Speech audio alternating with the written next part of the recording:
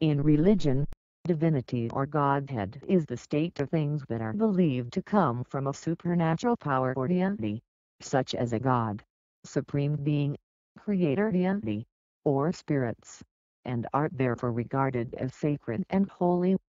Such things are regarded as divine due to their transcendental origins or because their attributes or qualities are superior or supreme relative to things of the earth. Divine things are regarded as eternal and based in truth, while material things are regarded as ephemeral and based in illusion.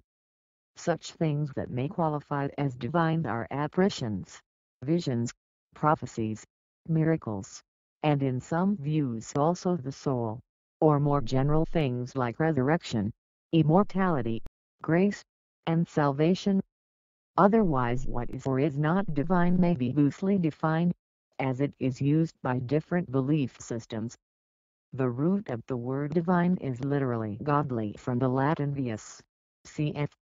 Dyaus, closely related to Greek Zeus, divided in Persian and Deva in Sanskrit but the use varies significantly depending on which deity is being discussed. This article outlines the major distinctions in the conventional use of the terms. For specific related academic terms, see Divinity Academic Discipline or Divine Anglican.